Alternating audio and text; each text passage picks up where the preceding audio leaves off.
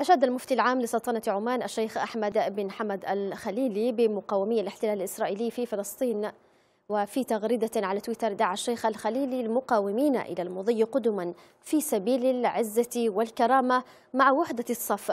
وطالب الشيخ الخليلي المسلمين جميعا بشد إزرهم في معركة الأمة جميعا.